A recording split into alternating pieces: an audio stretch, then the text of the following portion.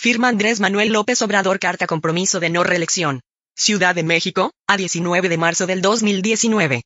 El presidente de México durante su acostumbrada conferencia de prensa, que se celebró este martes 19 de marzo del 2019, cumplió su compromiso de firmar la carta compromiso de no reelegirse en el 2024. El día de hoy, como lo acordamos, vamos a firmar un documento, un compromiso con el pueblo de México les voy a leer el texto y voy a firmarlo para que se publique y quede constancia.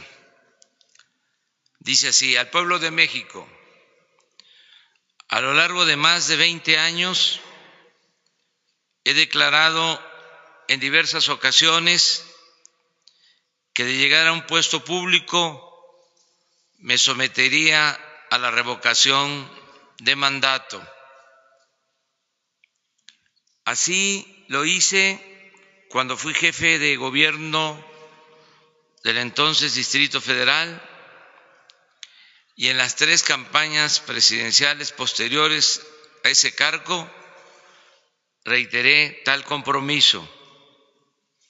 Así, a mediados de mi mandato, en 2021, se deberá llevar a cabo una consulta para preguntar a los ciudadanos si quieren que continúe gobernando o que renuncie.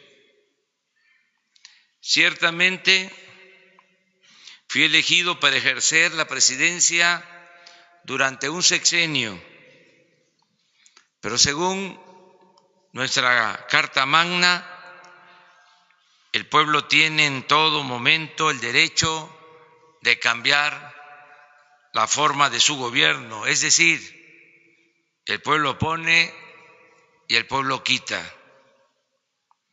Para cumplir este compromiso envié al Congreso una iniciativa de reforma constitucional para llevar a la práctica este mecanismo de democracia participativa. Sin embargo, mis adversarios políticos, los conservadores, que creen que soy como ellos porque su verdadera doctrina es la hipocresía, vociferan que la propuesta de someterme a la revocación del mandato encubre la intención de reelegirme en el 2024. Ante este infundio, me es necesario reiterar mis principios y mis convicciones democráticas para asentar lo siguiente.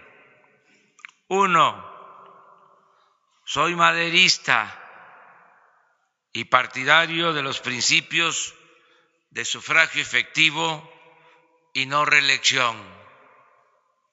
Dos, me inspiran los ideales y las convicciones, no la ambición al poder. Tres, creo que el poder solo tiene sentido y se convierte en virtud cuando se pone al servicio de los demás.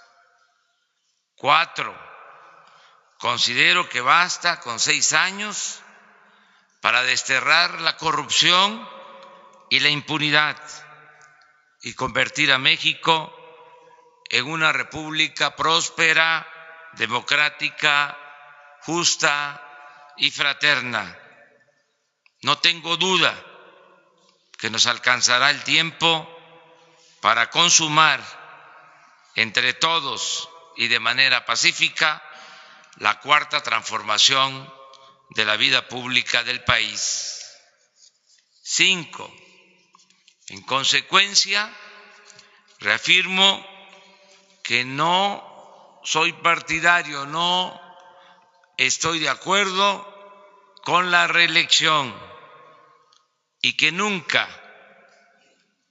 bajo ninguna circunstancia, intentaría perpetuarme en el cargo que actualmente ostento, porque ello no solo significaría ir en contra de la Constitución, sino también traicionar mis principios y renegar de mi honestidad, que estimo es lo más valioso en mi vida.